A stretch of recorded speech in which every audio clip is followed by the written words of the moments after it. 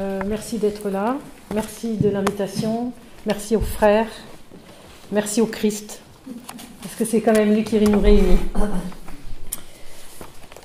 Euh, J'ai déjà eu l'occasion de parler de la femme dans différents groupes. Et évidemment, quand on vous demande de parler de la femme, euh, voilà, c'est toujours un peu les mêmes, les mêmes choses qui reviennent quelle est la place de la femme dans l'Église, etc. Et j'aurais très bien pu, comme je l'ai fait dans d'autres groupes, vanter, surtout qu'on m'a bien expliqué que nous sommes ici dans une communauté euh, de fondement protestant avec euh, quelques catholiques, euh, avec une spiritualité occidentale qui connaît moins ou qui a moins l'habitude de, l'orthodoxie, donc il fallait bien mettre l'accent sur qu'est-ce que c'est la, tradition orthodoxe pour bien qu'on comprenne. Et donc je pourrais très bien euh, expliquer pendant au moins une heure à quel point le fait que nous ayons d'ailleurs probablement dans les paroisses protestantes ça se passe aussi peut-être comme ça à quel point euh, nos, nos, ou nos matushkas euh, sont importantes dans la communauté. Donc un prêtre, 99% de nos prêtres sont mariés, nos prêtres de paroisse en tout cas, et évidemment leurs épouses sont extrêmement importantes. Et donc on pourrait expliquer la place, l'importance de la place de l'épouse, non seulement pour la communauté, mais aussi pour le, pour le prêtre. Parce que je me souviens très bien d'un prêtre qui disait euh, euh, quand je rentre chez moi et que j'ai ma femme et mes enfants, eh ben, je suis plus le président de la communauté. Euh, parce que ma femme et mes enfants, ils me remettent, ils me remettent en place. Donc je suis un de la famille. Et donc, rien que de vivre ça pour un prêtre, ben ça, change quelque chose et dans la vie de l'Église et dans la vie de la communauté, ce qui est évident. Donc on pourrait longuement euh, débattre là-dessus. On pourrait également longuement débattre sur, euh, et là aussi c'est un sujet qui évidemment nous différencie, sur nos spécificités liturgiques. Et nos deux grandes spécificités liturgiques, nous orthodoxes, euh, par rapport à nos frères d'Occident, c'est la, place éminente d'une icône. La preuve en est, c'est que quand il n'y a pas d'icône, on ne peut rien faire. La preuve, c'est qu'il a fallu en chercher une. On ne peut rien faire, même pas se réunir ensemble. Il n'y a pas de vie d'église sans icône. Et sans une iconographie, évidemment, déployée dans nos églises, bien évidemment. Et il n'y a pas non plus, comme l'a très bien souligné euh, Dimitra, euh, de, de vie liturgique sans chantre. Euh, et donc, je pourrais évidemment développer longuement aussi à quel point euh, les femmes prennent particulièrement leur place dans ces deux rôles. Alors, effectivement, euh, Dimitra nous faisait plutôt le, panorama de ce qui se passe dans le monde, et notamment dans le monde orthodoxe traditionnel de avant la, la chute du mur. Moi, je vais vous parler plus de ce qui se passe en France, parce que c'est le milieu dans lequel je, je navigue. Et donc, effectivement, en France, il n'y a pas trop de difficultés. Euh, beaucoup d'épouses de prêtres sont chantres et même chefs de chœur, euh, énormément. Euh, et, et, beaucoup de femmes sont iconographes. Et donc, la place de la femme, elle est éminente, parce que si elle n'était pas là, Bien sûr, il y a des hommes chefs de chœur et des hommes aussi iconographes, mais si la femme n'était pas là, le nombre d'iconographies et le nombre de fresques que nous n'aurions pas, ce serait considérable. Et donc on ne pourrait pas célébrer, parce qu'il n'y a pas de liturgie sans chantre et sans fresque, et sans icône. Donc on pourrait, voilà, j'aurais pu faire quelque chose euh, là-dessus. Euh, j'ai euh, choisi de faire tout à fait autre chose, de vous présenter, et d'ailleurs je l'ai oublié dans mon sac, le quatrième chapitre d'un de mes, enfin de mon premier livre, parce que lorsque Père Romain m'a invité à parler à, à parler à cette euh, journée, il m'a dit bon, c'est la place de la femme. Et moi, alors pour moi, la femme, évidemment, normalement pour une orthodoxe, la femme c'est Marie, c'est le modèle, la mère de Dieu. Mais pour moi, excusez-moi, euh, mes chers frères et sœurs, pour moi, celle qui m'a le plus touchée, en tout cas jusqu'à aujourd'hui, même si Marie, évidemment, euh, ça va de soi, hein, qu'il n'y a rien au-dessus de Marie, on est d'accord, c'est Rebecca. Voilà, c'est Rebecca. Et donc je parle de Rebecca pendant 200 pages euh, dans ce petit livre. Et euh, dans, quatrième, euh, le quatrième chapitre, je parle de, son rôle particulier en lien avec la Mère de Dieu et en lien avec la liturgie et en lien avec la synagogue. Donc on va essayer de faire tous ces liens qui vont peut-être être un peu complexes, mais on va, si jamais vous n'arrivez pas à me suivre, vous, pouvez lever les mains, etc., pour essayer d'expliquer plusieurs choses. Premièrement, comment euh, le premier et le deuxième testament euh, euh, se relient, comment ils se relient non seulement entre eux par des réminiscences que l'on connaît bien généralement chez les chrétiens, mais ils se relient entre eux par des traditions orales, c'est-à-dire par la manière dont on, dont dès, les, avant l'ère chrétienne, on a commencé à, interpréter l'Ancien Testament et comment ensuite on a continué à, l'interpréter euh, avec les pères de l'Église euh, euh, dans l'Église. alors, alors avant, de, voilà, avant de préciser tout ça par rapport à ce que nous, nous vivons dans la liturgie de l'Église orthodoxe, deux points qui sont évidemment très clairs pour tout le monde, mais c'est bien de les rappeler c'est d'abord l'importance des femmes dans la Bible, parce que je pense que à cause de ce qui a été dit, et évidemment à cause d'une société très patriarcale, on a l'impression que c'est les hommes qui dominent euh, toute la Bible. On dit toujours le Dieu d'Abraham, d'Isaac et Jacob, et on oublie qu'il est aussi le Dieu de Sarah, Rebecca, Léa et Rachel. Bon. Et donc, euh, donc c'est très important qu'on sache que ces femmes ont été fondamentales, fondamentales. Si elle n'avait pas été là, Moïse serait mort, parce que c'est grâce à Myriam euh, qu'il a été sauvé des eaux. Euh, si Sarah n'avait pas été là, on ne sait pas où serait allée la promesse, parce que c'est par Sarah que la promesse va bien sur Isaac pour continuer la lignée.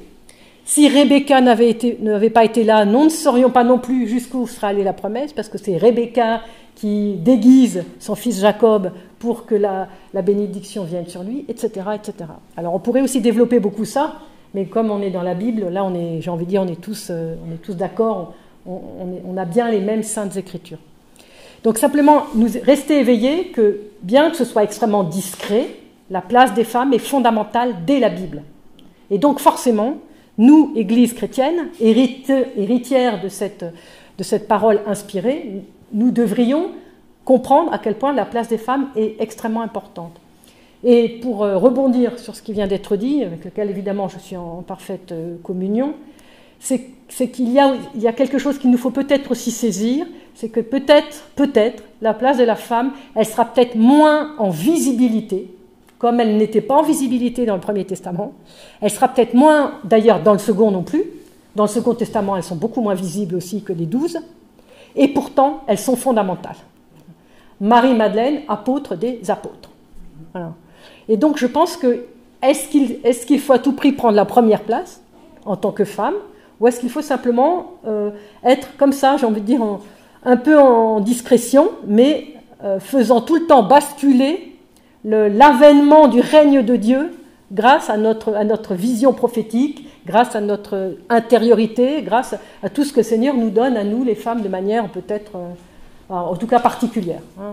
On ne va pas parler de plus et mieux parce qu'on ne sait pas, on sait pas comment Dieu parle à chacun, mais en tout cas d'une manière unique, d'une manière euh, féminine, d'une manière euh, avec cette perception, cette sensibilité que nous avons. Alors maintenant, je voudrais essayer de commencer par expliquer un tout petit peu l'iconographie. Euh, par rapport donc à ce personnage de Rebecca. Alors vous savez que on dit chez nous que l'icône effectivement elle est peinte, mais on dit que c'est une écriture. L'icône est une écriture et quelque part elle réécrit le texte euh, à sa façon, elle réécrit le texte révélé à sa façon. Et on pourrait même dire euh, qu'elle est une sorte de midrash du texte biblique si quelqu'un ne comprend pas ce terme, on pourra l'expliquer. Hein, donc, toute une interprétation du texte. Euh, et cette tradition iconographique de l'Église orthodoxe est une tradition extrêmement codifiée. Il y a un canon de l'icône de la même manière qu'il y a un canon de la Bible. Et, euh, et donc nous entrons quelque part dans le récit euh, en images où des éléments de la tradition orale vont se perpétuer. Et donc j'ai choisi une mosaïque que je vais essayer de vous, de vous, euh, projeter. Regardons bien cette image. Et c'est là où. Alors d'abord, nous sommes au XIIe siècle et nous sommes à, Mont... à Montréal, en Sicile. Sicile, la Sicile est encore dans l'Empire byzantin à cette époque. Donc c'est très intéressant parce que nous sommes en Occident, mais dans l'Empire byzantin. Donc vous voyez, on est vraiment à la charnière euh, voilà, de ce que nous voulons essayer de vivre, nous, ici, euh, quand nous sommes entre frères chrétiens. Et ce qui est très intéressant, c'est que donc dans cette image, c'est la manière byzantine de montrer le rôle de la femme. Qu'est-ce qu'on voit? Donc on voit euh, Rebecca qui euh, verse de l'eau dans une auge pour les chameaux. Si vous connaissez bien le chapitre 24 du livre de la Genèse, vous savez par cœur que euh, le serviteur d'Abraham est venu chercher une épouse pour Isaac, il s'arrête près du puits et il fait une prière à Dieu en lui disant, Seigneur, montre-moi, parmi celles qui viendront chercher de l'eau au puits, montre-moi celle que tu as destinée à ton fils Isaac. Et nous découvrons, enfin, l'iconographe nous montre celle que euh, Eliezer, qui est celui qui tend la main comme ça vers elle, euh, la désignant, euh, a découvert comme étant celle qui sera la femme d'Isaac. Comment il la découvre Alors, premièrement, regardez bien cette icône. Elle ne le regarde pas. On n'est pas dans une scène de séduction. On n'est pas dans une scène. Elle est complètement intériorisée, complètement à son affaire, et en plus elle a les cheveux couverts, ce qui est normalement pas le cas pour les jeunes filles qui ne sont pas mariées dans l'iconographie. Donc il y a cette espèce de, de non-séduction, de, voilà, d'intériorisation, euh, de modestie. Hein, on appelle ça en, hébreu, on dit la tzliout, quelque chose de modeste, comme ça, de réservé face aux hommes et elle fait son travail de remplir euh, l'eau pour les chameaux. Et vous savez que euh, la prière de, de, c'était celle qui me dira, parce qu'il va, va lui demander à boire, celle qui me dira bois et je vais aussi donner à boire à tes chameaux, c'est-à-dire qu'il y ait une générosité au-delà de ce qui est demandé, ce sera-t-elle la femme que tu auras choisie pour mon maître Isaac et elle, donne exactement cette réponse bois, et je donnerai aussi à boire à tes chameaux. Et vous savez combien elle a donné à boire? 500 litres. Vous voyez le temps qu'elle a pris, quoi. Parce qu'il y avait 10 chameaux. Donc, on, a fait le compte et ça fait 500 litres. Mais peu importe, ce qui est important, c'est cette, euh, surtout dans cette image que je trouve extraordinaire, c'est ce jaillissement de vie. Regardez l'abreuvoir, il est comme l'eau, il est tout, il est tout plein de vie, à côté du puits qui est tout, qui est tout, tout sec un peu, hein, tout, figé, alors que, alors que c'est de l'eau jaillissante qu'elle propose, une eau vivante. Et regardez cette cruche, regardez comment elle est placée cette cruche dans, l'image, c'est absolument époustouflant. On a l'impression qu'elle est en train de donner la vie, qu'elle est en train de porter un enfant. voilà ça c'est toute la symbolique de la mystique j'ai envie de dire, euh, byzantine, qui, par la façon de réécrire, d'écrire simplement le texte, réécrit en nous montrant la fécondité d'une femme. La fécondité par cette eau qui jaillit, par cette eau vivifiante. Regardez, regardez un peu toute cette eau, et par cette cruche qui prend la place voilà, d'un ventre, euh, voilà, ventre qui est prêt à enfanter. Voilà. Donc je voulais quand même qu'on passe un petit peu de temps sur cette icône et vous allez comprendre pourquoi euh, c'est important pour nous. Parce que cette scène Et là, alors là, évidemment, nos frères occidentaux ne le savent peut-être pas, et peut-être pas d'ailleurs certains de nos frères. Euh, euh, cette scène renvoie, enfin, va servir de modèle à une autre scène iconographique, qui est la scène qu'on appelle la scène de la première annonciation. Qu'est-ce que c'est que cette première annonciation? Alors, les iconographes pourront éventuellement euh, compléter tout à l'heure. Euh, la tradition byzantine, euh, s'appuyant sur un, proto-évangile, dit que, pour que, la mère de Dieu soit préparée à l'annonce à l'annonce de, la naissance par l'archange Gabriel, quand elle vient puiser au puits l'eau qui lui est nécessaire pour sa maison, elle reçoit la visite d'un ange, comme on voit ici sur l'icône, qui, ne parle pas, mais qui, voilà, qui vient comme ça, comme pour la préparer, pour qu'elle ne soit pas effrayée au moment où l'ange va s'imposer devant elle et lui porter l'annonce. Alors il y a peut-être d'autres détails, je laisserai tout à l'heure les, iconographes éventuellement euh, préciser. Euh. Alors voici, voici ce que dit le protévangile de Jacques. Elle prit sa cruche et sortit puiser de l'eau. Et voici qu'une voix lui dit Réjouis-toi, pleine de grâce, le Seigneur est avec toi, tu es bénie parmi les femmes. Et Marie regardait à droite et à gauche pour voir d'où venait cette voix, et toute tremblante, elle rentra dans sa maison. Donc l'apocryphe euh, donne cette idée-là, mais euh, l'image ne, voilà, l'image ne donne pas le texte, si vous voulez. Donc on ne sait, pas. Donc est-ce que l'ange lui a dit ou lui a pas dit? Bon, moi j'ai toujours entendu dire dans l'Église que l'ange ne lui avait pas parlé dans cette première annonciation, mais bon, après on peut interpréter. Alors, euh,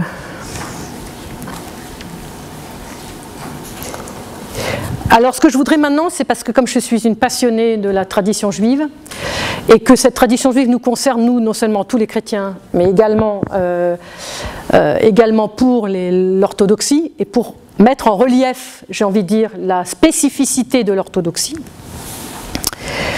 Euh, qu'est-ce, que, qu'est-ce que dit la tradition liturgique dans l'office de la synagogue?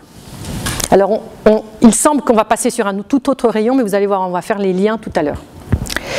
L'office de Shabbat propose tous les samedis matins, pour les juifs de la synagogue, un hymne qui s'appelle Nishmat Kol Chai. Alors je vais vous expliquer, hein, je ne vais pas vous laisser comme ça euh, avec des mots un peu bizarres. Euh, et cette, euh, cet hymne et donc, Nishmat Kolrai, c'est les premiers mots d'un long paragraphe. Et donc, les premiers mots, ça veut dire que l'âme de tout vivant, que l'âme de tout vivant bénisse ton nom, éternel notre Dieu. Et puis après, il y a une grande prière. Cette hymne majestueuse, très ancienne dans l'office de la synagogue, euh, est élue après le récit du cantique de la mer Rouge. Et c'est pour ça qu'elle a été appelée la bénédiction du chant. Parce que vous savez que quand les fils d'Israël traversent la mer Rouge, ils chantent, Myriam danse avec les tambourins, ils chantent euh, L'Éternel les a, jetés à la mer, cheval à cavalier, et ils se réjouissent d'avoir été euh, délivrés de l'esclavage de Pharaon. La troisième strophe de cet hymne, alors, est-ce que je vais vous la trouver? Cantique de Myriam ou de Moïse Cantique, cantique, de Moïse, mais il y a aussi, justement, il y a deux groupes. Il y a le groupe des hommes et le groupe des femmes. Et Myriam est avec le tambourin. Hein. il y a un verset pour, Myriam, la femme. Voilà, cantique de Moïse. La dernière strophe de cet hymne qui s'appelle Nishmat Kol Chai dit la chose suivante, que je vous l'ai mis là pour que vous y voyez bien clair. Béfi et Charim titromam, par la bouche des hommes droits soit exalté, ou Besfatei tzadikim titbacher, par les lèvres des justes soit béni, ou Belachon chassidim titkadesh, par la langue des fidèles soit sanctifié, titkadesh, écoutez bien kadash, kadosh, écoutez bien ça parce que c'est un mot qui va revenir, ou Bekerev kedushim, petite halal et parmi les saints, soit loué. Et donc tous les, mystiques ont remarqué que la première lettre du deuxième mot de chacun de ces versets constitue Yitzhak, le nom d'Isaac, et que la troisième lettre du troisième mot constitue Rivka, euh, le nom de Rebecca. Je ne sais pas si c'est assez clair, est-ce que vous le voyez? Parce que j'ai mis en gras, mais c'est pas clair. Bon, je vais, ah oui, je, peux pas me. Si, si, je peux me lever. Si, si. Il faudrait que j'ai un bâton, que j'ai quelque chose. Alors, euh,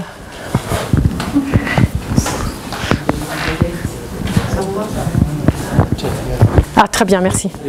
Merci. Donc, Yod, Tsad, Tzadé, Chet, Kouf, Yitzhak, Isaac, Resh, Bet, Kouf, He, Rivka, Rebecca. D'accord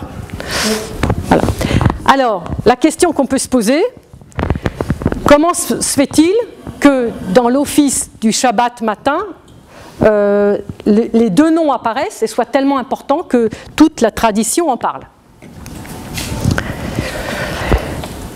Et en même temps, voyez avec quelle discrétion ils sont là, puisque c'est tout juste si on les voit. Hein, euh.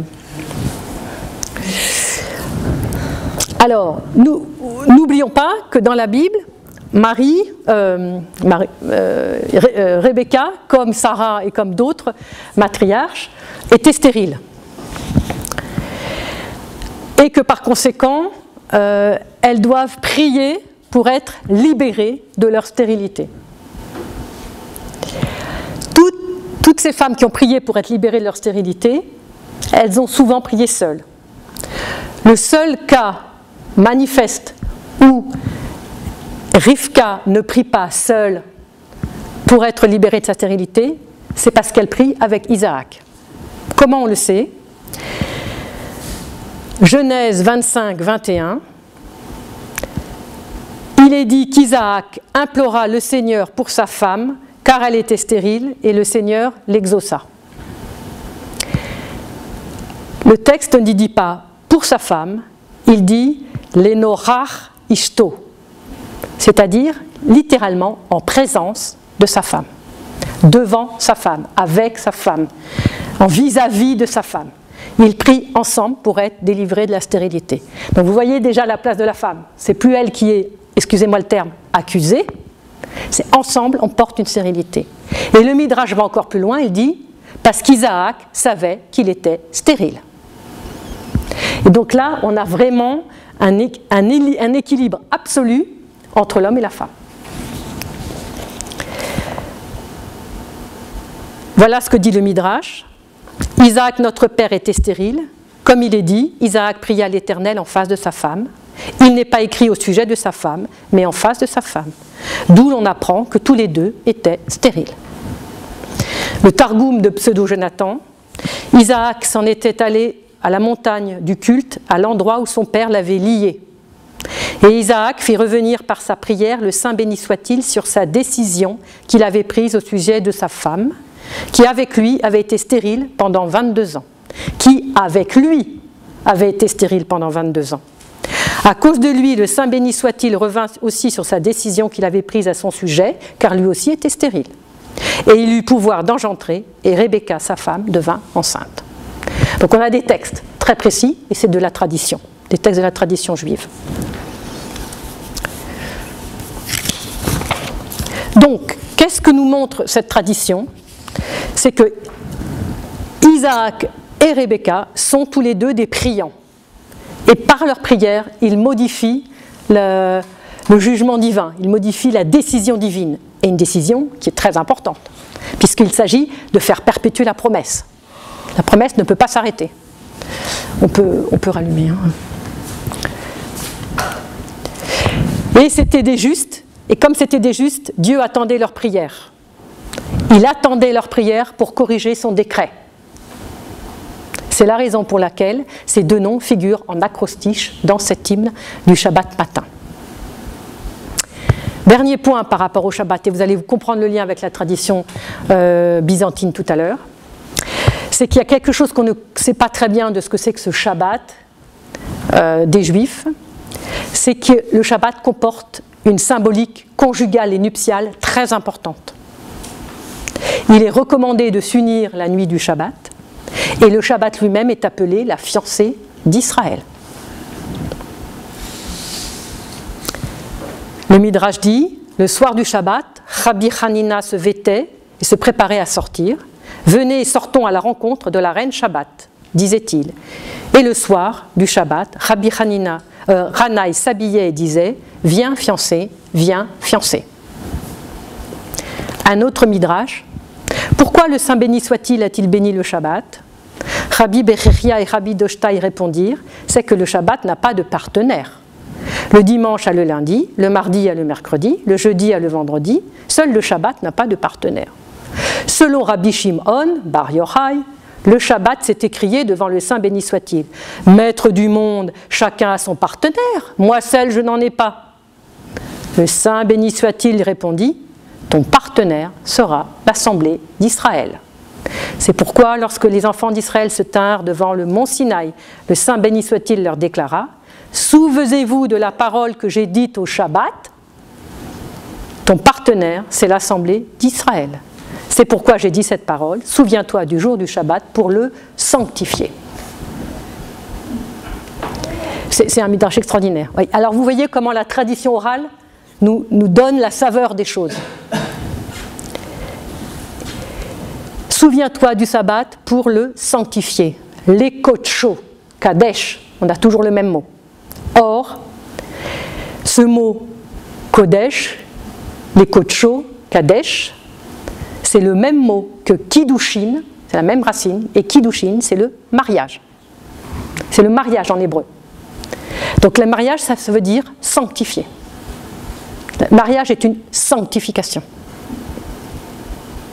Donc, est-ce que c'est un simple hasard que cet hymne, où le mérite du couple de juste Rebecca et Isaac est invoqué, est conservé précisément le jour du Shabbat? Passons maintenant à la liturgie du mariage dans le rite byzantin. Et là, le lien va commencer à se faire. Donc, voyez tous les prérequis qu'il faut avoir avant. Est-ce qu'il est permis de faire un lien, de faire un rapport? Même s'il n'y a pas de rapport, parce qu'il faudrait faire toute une étude liturgique très poussée, dont je n'ai pas eu les moyens de, la faire, il se trouve que j'étais extrêmement interpellée par la mention répétée d'Isaac et Rebecca dans l'office des fiançailles. Surtout lorsqu'on connaît cette prière, cette prière dont je viens de vous parler. L'importance de ces deux figures dans la tradition d'Israël, à la fois comme modèle de priant, et comme modèle conjugal. Parce qu'entre guillemets, des trois patriarches, le seul qui n'a eu qu'une épouse, c'est Isaac. Donc c'est un modèle. C'est un modèle pour nous, mais pour les juifs aussi, puisque la polygamie a été euh, très rapidement abandonnée du côté juif. Or, pour le chrétien, ce n'est pas le Shabbat qui est l'époux de l'Église, mais le Christ, dont les pères disent que c'est le Shabbat en personne. Et le Nouveau Testament ne cesse pas de décrire le royaume de Dieu en parlant du Christ comme du fiancé de l'humanité qu'il vient sauver. Et la venue du Christ est comme des noces. On va, je ne vais pas vous lire tous les textes, hein, mais Matthieu 22, Matthieu 25, Luc 12, Apocalypse 19. Donc ces images dans le Nouveau Testament sont à la fois le symbole de l'alliance dans la fidélité et le symbole de la fécondité qui en découle car une alliance est féconde. Et donc l'Église unie au Christ va enfanter des fils pour la, vie éternelle. Et toute la théologie du mariage chez Paul procède précisément de ces deux symboles. Quand on regarde la partie, euh, le mariage byzantin, il y a deux parties. Les fiançailles et le couronnement.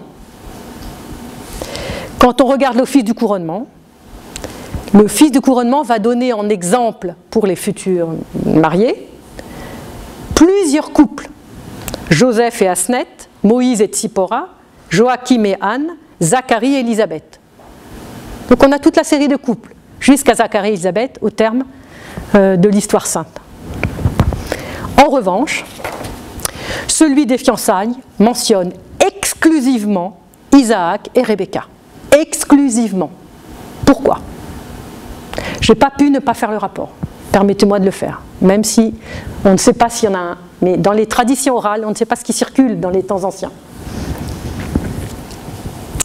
Si on regarde l'invocation sur les fiancés dans l'office du mariage, que nos prêtres connaissent bien mieux que moi. Donc euh, il y a deux courtes prières, probablement les plus anciennes, d'après euh, Jean Meyendorf, les plus anciennes de l'office des fiançailles, qui associent le mariage à l'œuvre salvatrice du Christ qui rétablit l'unité entre Dieu et l'humanité. Donc le texte utilise l'ensemble de l'Ancien Testament du mariage d'Isaac, héritier d'Abraham, et de Rebecca, la fiancée de Mésopotamie. Parce que n'oublions pas une chose, c'est que Rebecca, elle vient du monde païen. Et que le Christ fiancé à son Église, c'est cette idée aussi. C'est qu'il amène tous les païens aussi. Ce n'est pas seulement euh, ceux de son peuple. Voici la prière. Dieu éternel qui rassemble dans l'unité ce qui est séparé et rend indestructible le lien du mariage, toi qui as béni Isaac et Rebecca et fis d'eux les héritiers de ta promesse, toi-même bénis également tes serviteurs que voici, et dirige-les en toute œuvre de bien, Seigneur notre Dieu, qui parmi les nations t'es choisi pour fiancer l'Église vierge et pure, Bénis ses fiançailles et garde tes serviteurs que voici dans l'unité, la concorde et la paix. Donc cette première prière des fiançailles va mettre l'accent sur l'unité de ce qui est séparé. Afin qu'ensemble, comme Isaac et Rebecca, les nouveaux fiancés deviennent héritiers d'une promesse divine. En revanche, la dernière prière de l'office la plus longue, va reprendre en filigrane le passage de la Genèse comme modèle des fiançailles, juste après l'échange des anneaux. Alors je ne vais pas vous la lire tout entière parce qu'elle est longue, que je voudrais respecter mon temps, mais je vois que je ne l'ai pas dépassée, donc ça va. Seigneur notre Dieu, qui a accompagné en Mésopotamie le serviteur du patriarche Abraham, envoyé à la recherche d'une épouse pour son maître Isaac et la lui fit reconnaître en Rebecca, puisant de l'eau. Donc là, on a, on a la scène. Bénis toi-même les fiançailles de tes serviteurs, un tel, une telle et un tel. Et confirme la parole qu'ils se sont donnée, affermis-les dans l'union sainte dont Dieu est l'auteur.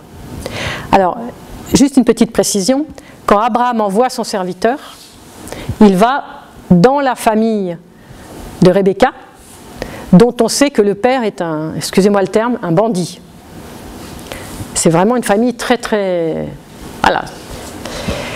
Et, euh, et on, a le, on, a le, sentiment qu'Abraham, en voyant son serviteur, il, est comme, il est comme celui qui envoie...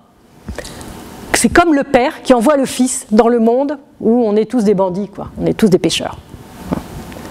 Et donc il y a vraiment euh, dans, ce parallèle entre, l'histoire d'Isaac et, Rebecca, quelque chose qui est très proche de ce qu'on sent nous de notre tradition chrétienne, où, Dieu le Père envoie son Fils euh, dans, la, mouise, chez ces êtres humains que nous sommes, des, des pécheurs invétérés, pour nous sauver.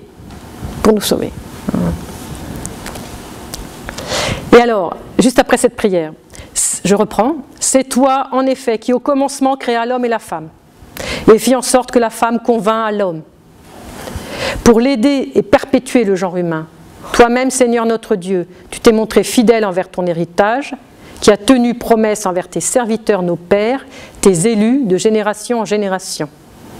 Penche ton regard sur ton serviteur, un tel, et ta servante, une telle, confirme leur fiançailles dans la foi, la concorde, l'amour et la fidélité Car c'est toi, Seigneur, qui as enseigné à donner un gage et à s'y tenir sans jamais déroger. C'est par l'anneau. Donc à la fin de cette prière, il y a l'anneau, puisqu'on vient de transmettre les anneaux. C'est par l'anneau que fut donné le pouvoir à Joseph en Égypte. Par l'anneau que fut glorifié Daniel au pays de Babylone. Par l'anneau que notre Père céleste montra sa compassion envers son Fils prodigue. Mettez, disait-il, un agneau à sa main droite, et immolant le veau gras, festoyons joyeusement. Si vous regardez le texte, c'est pas marqué la main droite dans le texte. La tradition orale de l'Église, elle, précise que c'est la main droite. Donc c'est très intéressant, parce que la main droite, c'est la droite. Hein. C'est toute, la, générosité du Père. Ta droite, Seigneur, fit passer la mer rouge à Moïse. Ça y est, là on commence à faire le lien.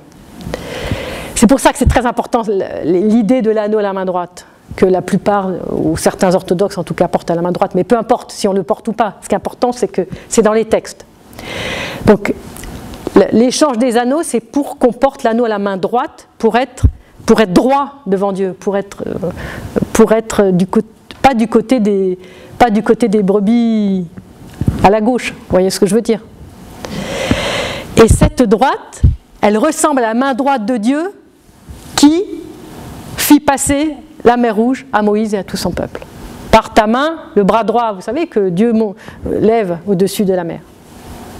Par ta parole et ta fidélité, les cieux sont affermis et la terre repose sur ses bases. Ainsi, la droite de tes serviteurs sera bénie par ton verbe puissant et ton bras élevé.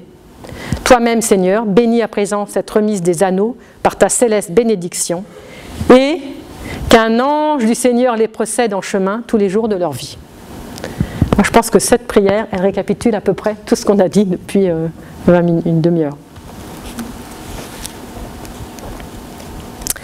Alors, on peut rajouter un petit point très intéressant, c'est que les pères de l'Église disent que lorsque Rebecca arrive au puits, elle est comme la fiancée, attendue par Isaac, par l'intermédiaire d'Éliézer, le, serviteur, parce que vous savez qu'Isaac, il a une deuxième, une deuxième euh, j'ai envie de dire, cerise sur le gâteau dans sa vie, c'est qu'il n'a jamais quitté la terre d'Israël. Jamais.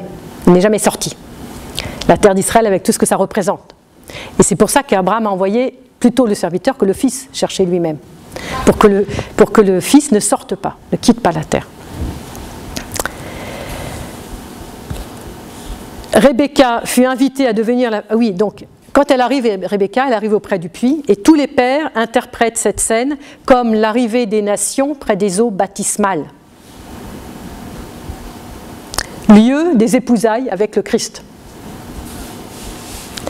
Rebecca fut fiancée, invitée à devenir la fiancée d'Isaac lorsqu'elle tira l'eau du puits.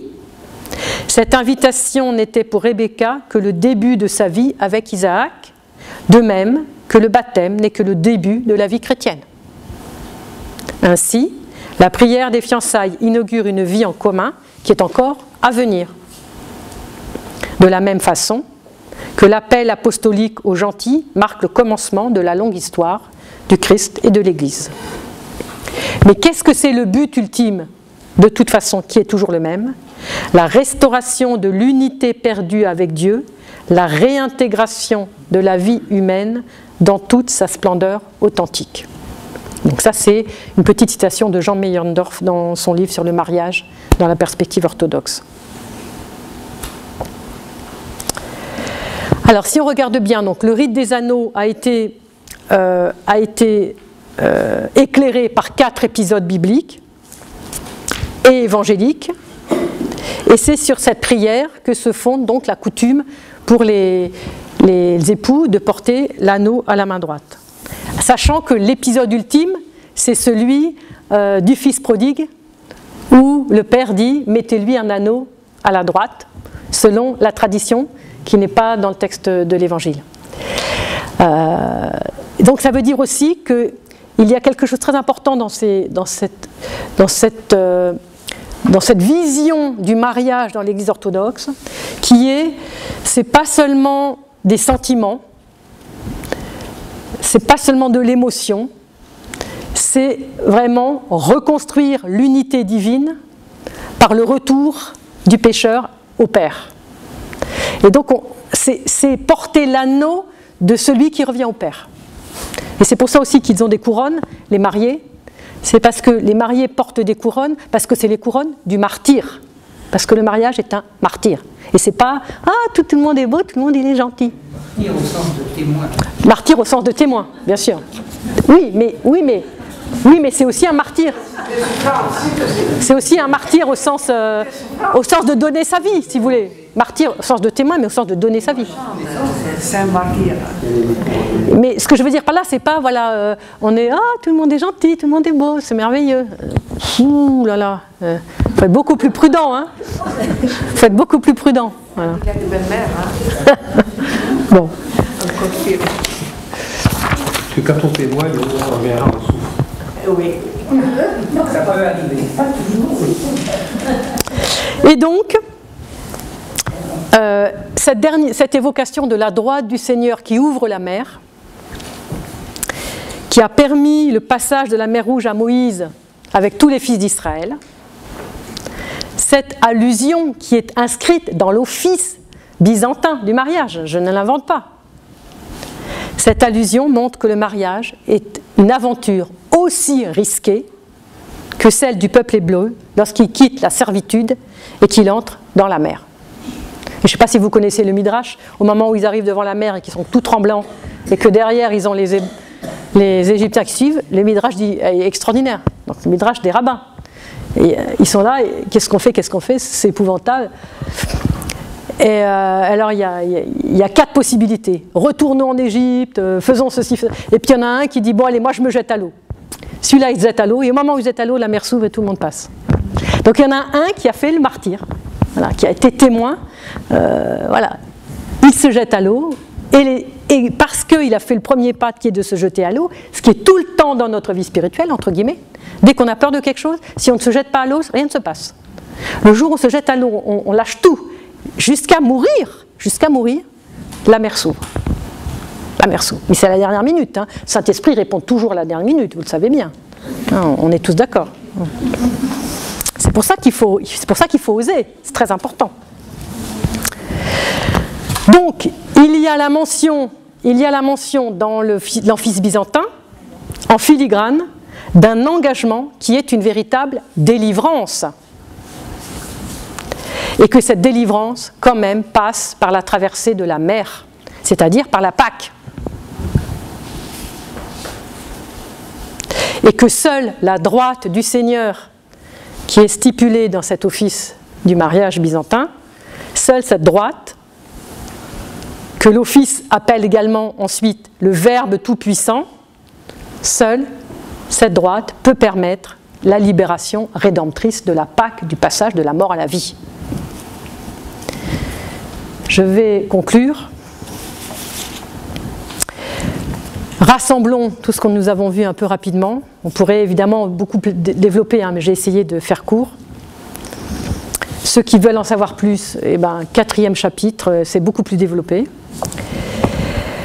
L'image de la scène de Rebecca va servir de modèle à la fresque de la première annonciation, où la Vierge Marie vient avec sa cruche au bord du puits.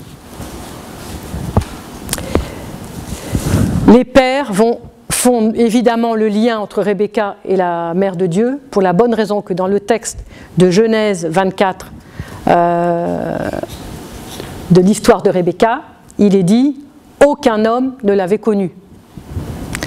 Et que la mère de Dieu dit en Luc 1, 34, je ne connais pas d'homme, comment ça va se passer? Donc il y a bien une résonance aussi de pas d'homme, il n'y a pas d'homme, il n'y a que des femmes. C'est bien, hein? Il n'y a que des femmes. Mais la femme là-bas, c'est la nature humaine. Ah, d'accord. L'iconographie, donc. Oui, oui, c'est sûr. L'iconographie va garder l'analogie scripturaire en prenant comme modèle pour la première annonciation cette scène de Rebecca au puits. La liturgie byzantine va accompagner à son tour cette similitude par la comparaison entre la mer Rouge et la Vierge. La preuve en est, c'est que dans un des tropères de l'office byzantin, c'est le doxakénine des stichères de vêpres du samedi du ton 5, où l'on dit L'image de l'épouse inépousée fut jadis signifiée par la mer Rouge. Là, Moïse partage les eaux. Ici, Gabriel annonce le miracle. Tiens, il y a bien un lien. Autrefois, Israël traversa à pied sec l'abîme. Maintenant, sans semence, la Vierge enfante le Christ. La mer, après le passage d'Israël, est demeurée infranchissable. L'Immaculée, après l'enfantement de l'Emmanuel, demeure sans corruption. Vous voyez tous les fils qui se tissent.